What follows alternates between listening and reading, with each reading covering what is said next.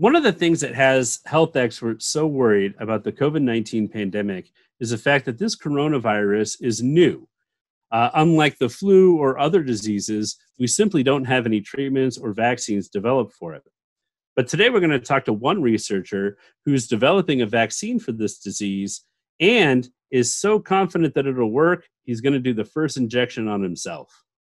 So, if I'm understanding correctly, you're taking the VSV virus, giving it the gene that produces the, the spike protein, which is something that's unique to uh, the CoV 2 virus.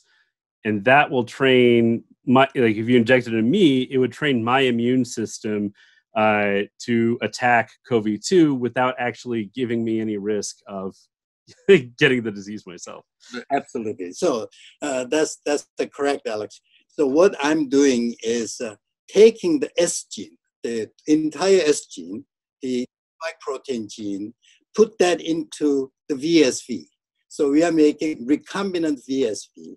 That recombinant VSV, when we immunize that as a vaccine, will produce that's the spike protein, and that, that protein will train us or educate our immune system to antibodies. That antibody will neutralize real virus.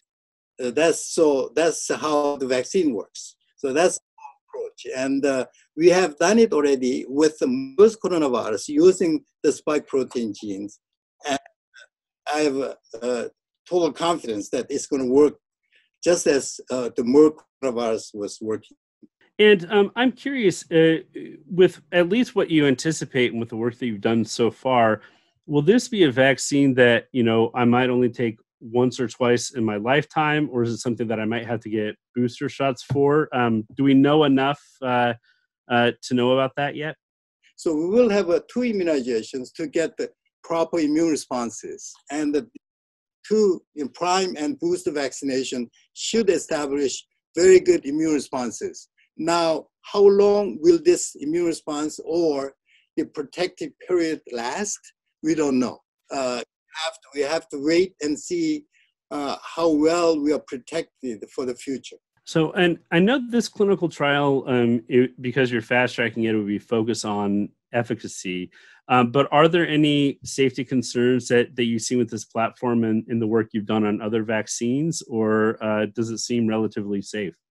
For this platform technology, is relatively safe, and therefore I, volu- I will volunteer for a first injection.